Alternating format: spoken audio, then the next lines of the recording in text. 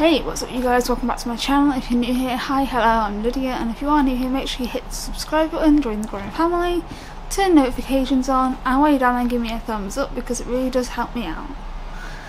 So, today I thought we could talk a bit about suicidal thoughts. Now, I know that a lot of you have dealt with or are dealing with suicidal thoughts, and as someone who's been there,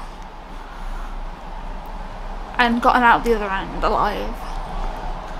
I want to say it does get better and it does get easier. And honestly, it makes suicide feel like the only option you have. But it's not your only option. You have the option to fight it.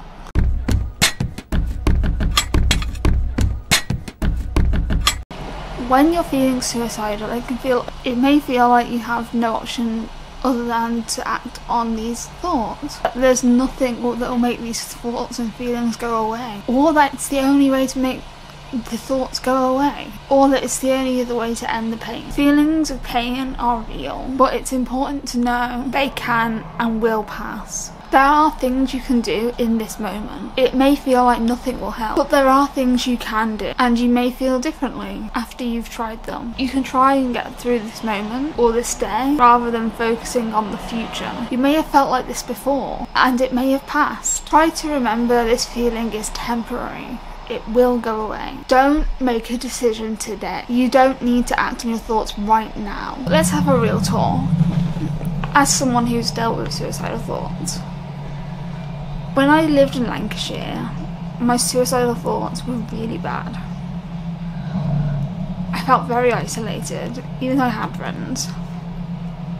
Friends that encouraged alcohol drinking, so. Jumper's so fluffy.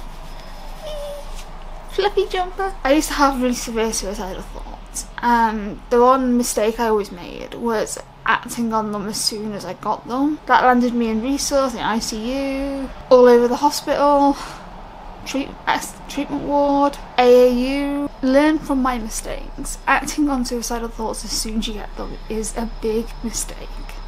If I'd given it, say, an hour, it probably would have gone away.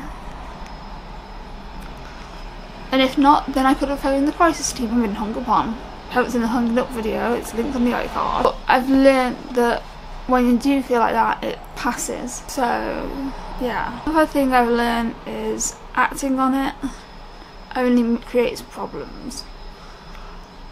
Because when you act on it, you run the risk of being sectioned here in the UK. And believe me when I say this, Nobody should want to be in hospital, such as going to a safe space, such as your bedroom, a friend or family member's house, a mental health centre, crisis centre, religious or spiritual centre, peer support group. Try to ground yourself. Grounding skills really help. I do actually have a keyring with coping mechanisms on. Let's see if I can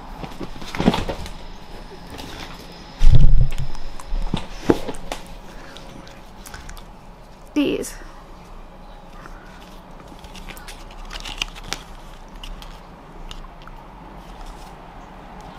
Another thing is distract yourself. Read a book or magazine. Watch a film or TV series. Go to a museum. Draw or paint.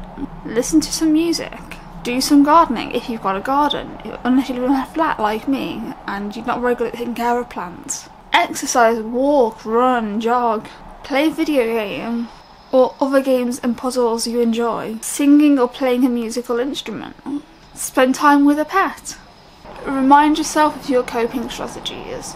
So yeah, there's just a few things that can help with suicidal thought. Obviously there's more than that, you could write a letter to a pen pal, or you could get a pen pal, go shopping. I know for me when I'm down I like to buy makeup. the proof of that is that I need to get some new drawers to store my makeup in because the ones I've got don't fit it all.